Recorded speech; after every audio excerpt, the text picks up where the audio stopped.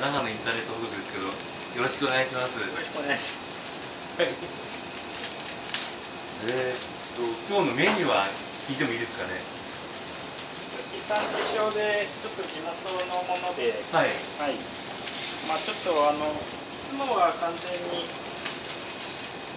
長野のもの中心にやるんですけど、はいこの時期なんで、まあ多少県外産やはい。はいはい。でアミューズと全体がえっ、と一気えっ、とアミューズ3品、経前菜1品。えっと、温前菜2品、メイン、デザートで7ですか。7皿構成です、今日は。で、僕ワイン好きなんで、はいあの僕が揃えてるあのワインを今日は長野のワインをちょっと揃えて、はい。あ持ち込んできたらということで、ね、ではい、はい。スタートは今日は何時なんですか？今日12時ですね。12時スタはいート、、12時でやっぱあのコース料理でなんで、まあ、大体昨日の流れでも2時 ,1 時間半2時間かなんかなぐらいでメインに行くんで大体少しあの2時間半前ぐらいから焼き始めてオーブン入れて、ちょっとゆっくり方向変えたり何したりしながらゆっくり火を入れて少し休ませる時間まで考慮して大体まあこのくらいの時間から。ちょっとこういうイベントごとでちょっとはい。ワインの説明とかしてないんで、はい。あのこれから来るスタッフの方にちょっとワインの説明やなんかを軽くして、ちなみにすいません。はい、お名前お願いします。ああすいません。あの軽井沢で出張料理やってます。三石と申します。三石さん。はい三石と申します。あ僕東京で7年と、はい。あのあれ？東京で7年とでフランスで5年。フランスへ行かれたんですね。フランス行って帰ってきてで、まあ、東京やなんかのお誘いもあったんですけど、はいまあ、地元に帰ってきてやりたくてはい。で地元に帰ってきてやってます。であのうちがちょっと畑やなんかをやってるんではいはいあのちょっとあの料理人一本でやっちゃうとちょっと日本の飲食店だとちょっと休みもないですし長時間ですし、畑をやってる時間がないんで、自分でフリーではいはい。頼まれたら料理作りますっていう形でと8年8年ぐらい、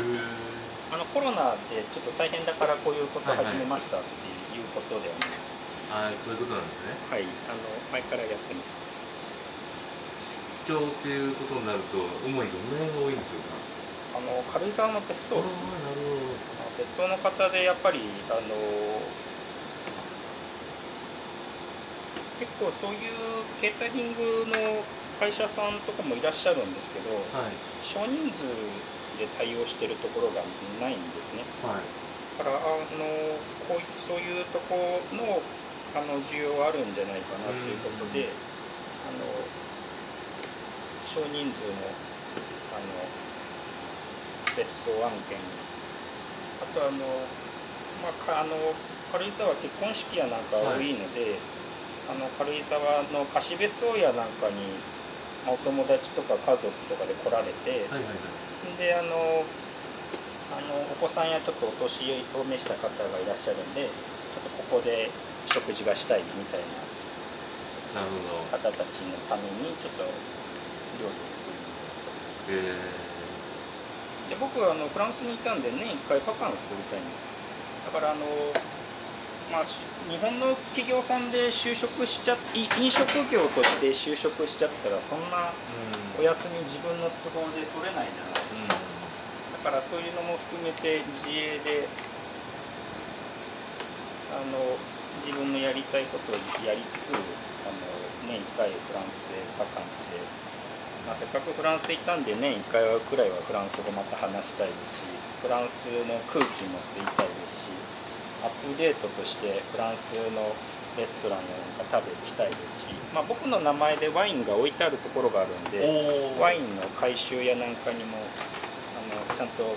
ちゃんと今年もワイン取りに来たよっていう。リザーブできるんですね。あのいやもうずっと長いことフランスにいた間から買ってるんで、はいああそうなんだ、はい、あのまあ、せせっかく僕のあの僕のココネクションで買えるものを日本に帰ってきちゃったからもう買えないっていうのも残念じゃないですか。はいはい。今すごい世の中の流れが早いんでなんかこの料理が流行りましたって言ってもはい。もう僕の感覚ではその20代頑張って修行してフランスに行って新しい技術を学んで帰ってきましたって言ってその技術であのこっちで人気になってって言ってもその今までだったらそれで60歳までいいけた感覚なんですけど。もう2年3年ぐらいしたらもう周りの人たちがはい同じ料理作ってるっていうぐらいあ情報の流れが。早い。はいですね、今は。だから常に自分もなんか自分のあの自分の時間を作ってアップデートしていかないとあっという間にーはいはい。あの時代に取り残されるじゃないですけど。地元出身っていうか長野の実は出身なんですいや僕作ですよ佐久あもともとはい。僕だったんです作ですでそういう意味では軽井沢も近かったし。そうなんです。そのいろんな条件が揃ってたんではい。あこれだったら自分のうちの農家やなんかもやりつつ自分のその今まで積み重ねてきたワインも、はい。あワインのその料理とかも、はそのままここで作れば活かせるなっていう。いなるほど。ただやっぱり日本の飲食業はちょっと固定費がかかりすぎるんであそうなんですおか店持ってあのなんか一番最初の改装費って言ってこんなに小さいお店でも多分あー1500とか2000万とかすると思うんですよ。だからそういう借金をして毎月家賃払ってそれなりの規模だったら人を雇ってっていうのでどこまで利益上げられるんだろうっていう。でフランスは週休2日ですし有給でバカンス、まあ、大体8月に1ヶ月有給ありますしそれ考えたらちょっと、うん、難しいな。たまたま僕のそのワイン好きだったんでっていうことでフランスで軽井沢に別荘を持ってらっしゃるワイン好きの方とお知り合いになれてはい。あそういうことだったらちょっとうちで料理作ってみたいな感じから始めたらあれ案外こっちの方がいけるんじゃないかなっていう。一応ここのメニューえっと1これ3品えっとはい12345で6ですかじゃあで6本出てで頭に果実酒が出るんですけど果実酒と炭酸のやつが出るんですけど、はい。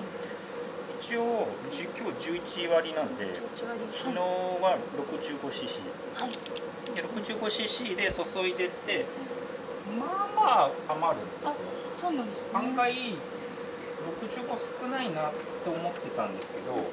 注いでみて余ってみたら、い。まあまああったってういう、ーん。はあの裏に測りがあるんで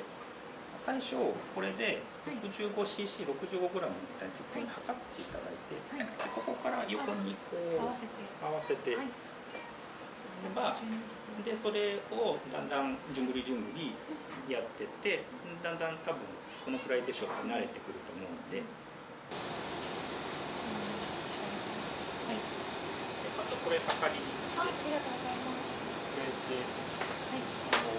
ワインとあの果実酒両方これで測りながらやってい。ただいてであの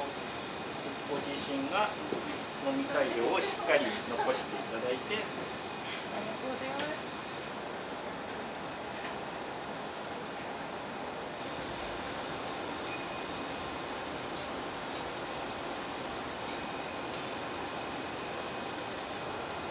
これは何か図柄を描いてるんですいやちょっと模様後でやるとちょっと間に合わないんでかはい。ちょっとお客さん来る前に適当なとこまでは持っといて。なるほど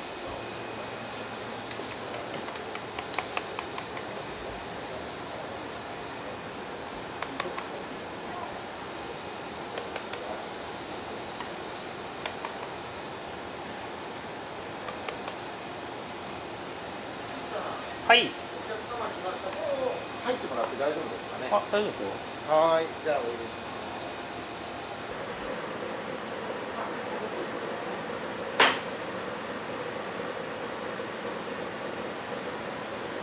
ますまあ、じゃあ最後に一言、はい、どんな料理を作ろうといつも思ってるんでしょうか？あそうですね。地元の食材化した実家この土地行ったらこの料理あやっぱ美味しいよねっていうなんかフードに根ざした料理を作りたいあの長野県でなんかこの土地でこの料理っていうところがあまりあの加賀料理とか京料理とかそういうことがない分しかもそのワイン作り始めたっていうのが新しい文化なんでそこをもっとあの伸ばしていけるような料理を作りたいっていう感じですかね。ぜひ夢に向かって頑張っていただきたいと思いますあありがとうございます。今日はありがとうございましたありがとうございました。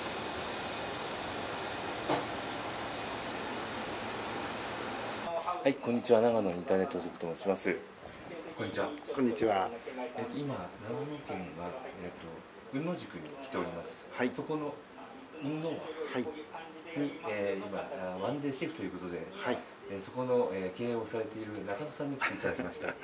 自己紹介お願いします。あ、はい。えー、東御市地域おこし協力隊の中野敦と申します。えーこちらのですね、雲野輪という、えー、滞在型交流施設っていうんですけれども、えー東御市が持っているうものでして、で今これをですね指定管理という形でえー信州東御観光協会の方で、えー運営しています。で実際に、はい、現場で動いているのが我々市から派遣されています、えー地域おこし協力隊のお人間3名で、えーやっております。はい。これからどんな風にあの、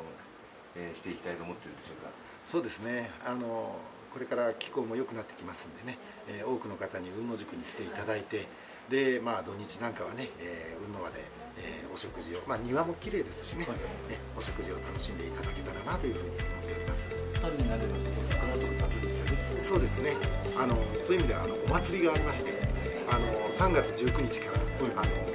通常はもうちょっと早いんですねひな祭りがありますね、でそのひな祭りが3月19から4月の10日。で桜祭りが4月の1日から17日。でその2つが重なる週末4月の10日ですね春らんまん祭りということでですねあの北海道を歩行者天国にしましてで、えーいろいろイベントやりますんでぜひお越しいただけたらなと思いますぜひ上に向かって頑張っていただきたいと思います。あありがとうございます今日はありがとうございました。あこちらこそありがとうございました